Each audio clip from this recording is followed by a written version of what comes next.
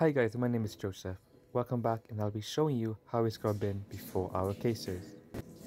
Now as you can see, I am not touching anything with my hands, just my elbows. And most importantly, when washing your hands, you always keep your hands up above your elbows.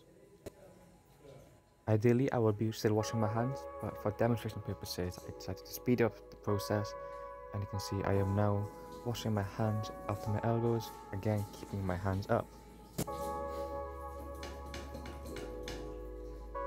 When washing your hands, you want to get between your fingers, around your thumbs, and everywhere in between.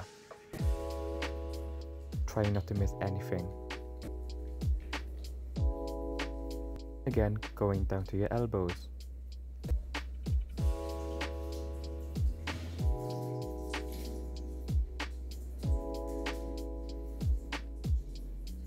I would normally do this process roughly 3 to 4 times including a nail brush. Now you can see here that I am still having my hands up. This is ensure that water drips down past my elbows.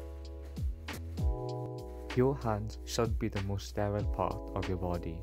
This is why you dry from your hands going down to your elbows so that you do not contaminate your hands with any potential bacteria on your arms. Lift your gown and step away from the table and open it up. And insert both your arms into the gown. Again being careful not to touch the actual outside of the gown and anything else.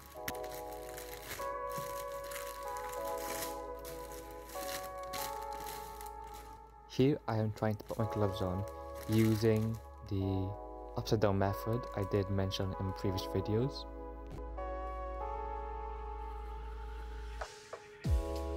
And as you can see, I am still trying to learn how to do this quickly because I am still a beginner. What a shame.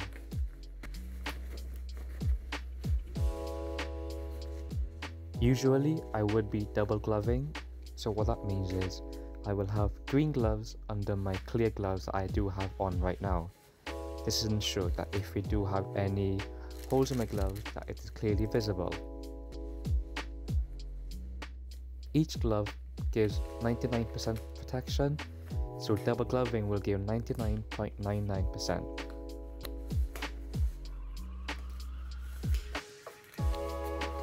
Now at this point you'll have an assistant to do the back of your gown from behind and tie your back. Now this you will give to your assistant, they grab it, while you spin around and then grab it and tie as you can see here.